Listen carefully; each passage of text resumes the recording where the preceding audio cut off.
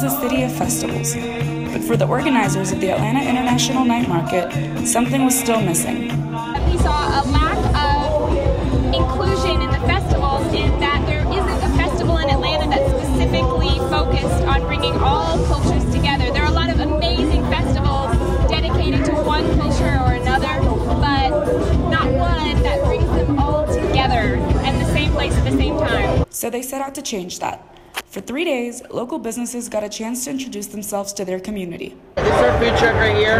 We're pretty new, so we just we, we take any gig we can get. The market hosted 150 food vendors and 50 retailers, all giving attendees a little taste of their home countries. Estamos dando a conocer un poquito de la cultura venezolana, trayéndola para, para acá, para Atlanta, que la gente nos vea por. Despite some bad weather early on, Yesterday rained, and Friday nobody was here.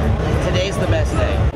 Thousands of people came out Sunday to eat, drink, and dance, proving that Atlanta is ready to embrace its multicultural roots.